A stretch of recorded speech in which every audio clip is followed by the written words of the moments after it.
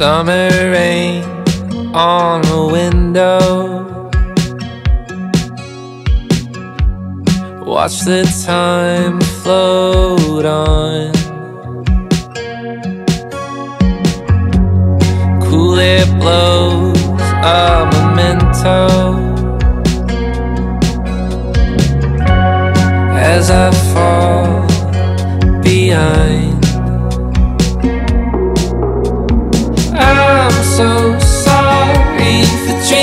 the future.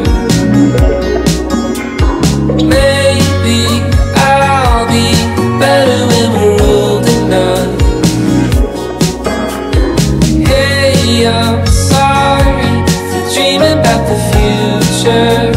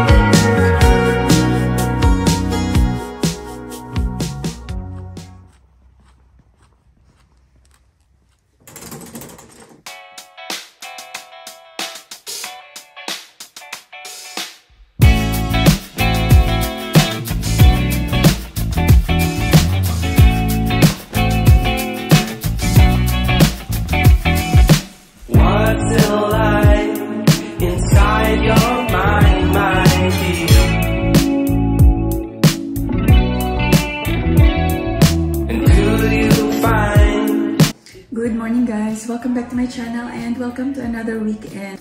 Breakfast lang ako. This is our third day and uh, this time, nandito kami sa bahay ng friend namin. We'll be here for like a week, me and Sander. Actually, nandun si Sander sa labas. Tapos na siyang nag-breakfast kanina. You never let it show, my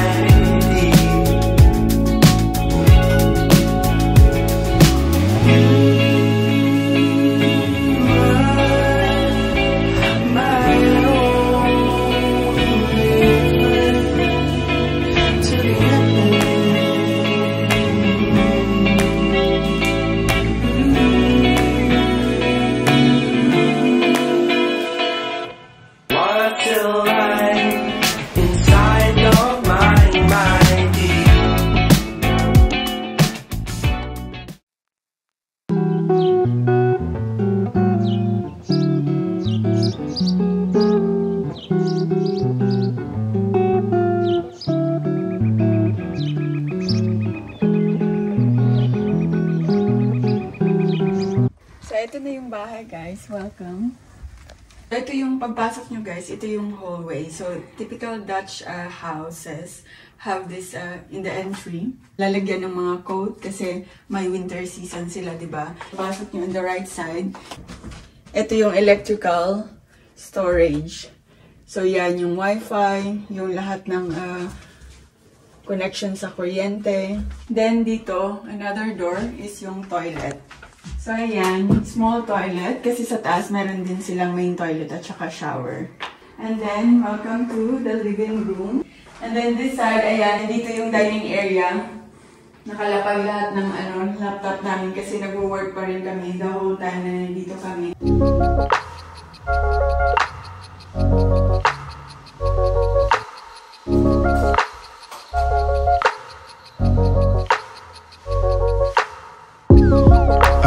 flowers in my garden never looked as bright as this. Like a happy child, I watched them grow out of only seeds. Butterflies down my stomach when I think of you and me. It is funny how a lot can change when you learn how to breathe. Look at my eyes, what do you see? Feels like we're only meant to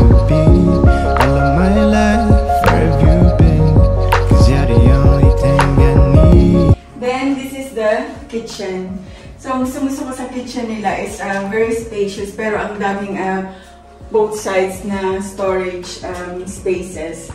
So, ayan, dito, yan, lalagyan nila ng mga panlinis. And then, yan, ito, ganda kasi nilagyan nila ng shelf.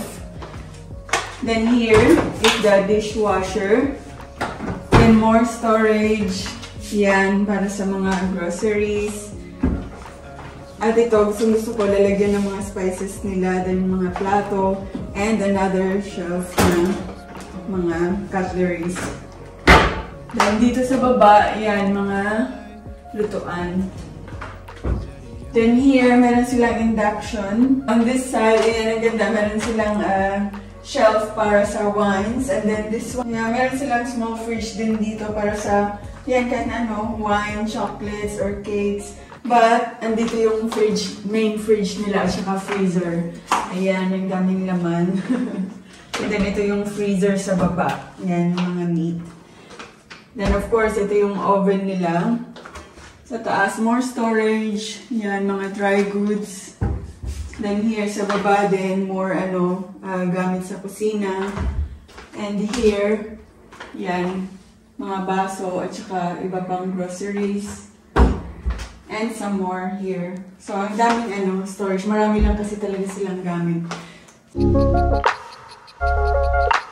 Oh,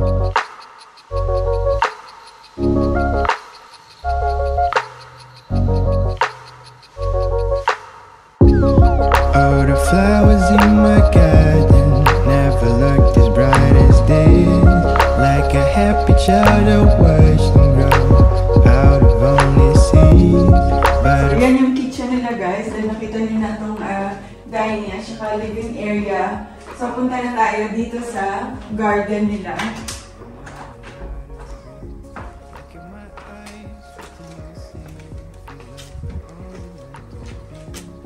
So yan, meron silang garden set. Ang ganda ng uh, weather ngayon kasi may araw. Most of the days, ano, makulimlim. Yan, dyan yung mga bicycle nila. Then may storage uh, room dito. Yan, lahat ng mga stuff na hindi ginagamit.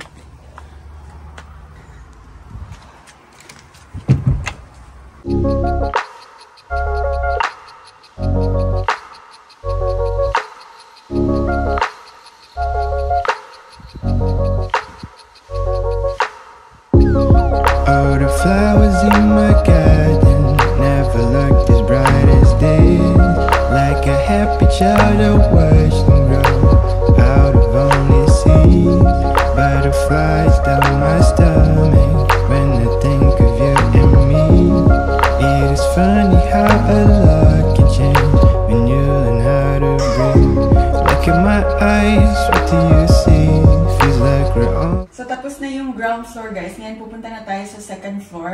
second floor nila is merong uh, three bedrooms. One main uh, master bedroom at saka dalawang maliliit na room. So, let's go.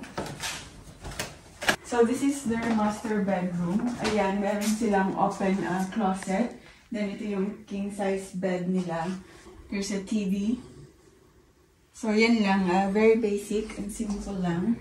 Then, dito, may maliit na room na ginawa nilang ah, office.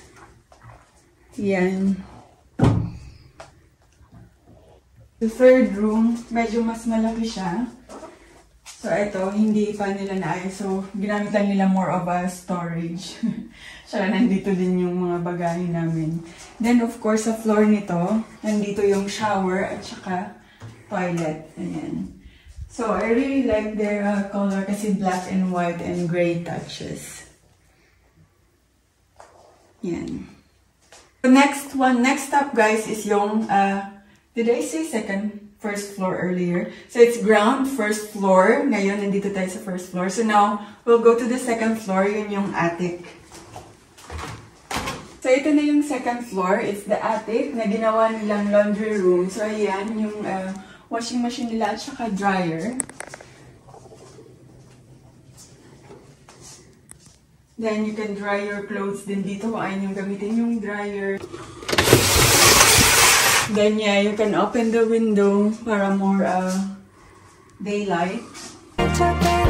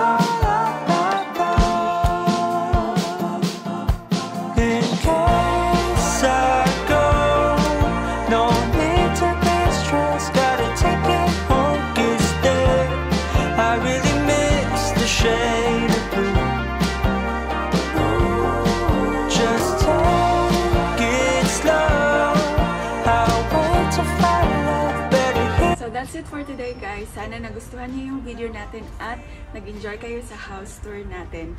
Please subscribe if you haven't yet and I'll see you again on my next one. Bye!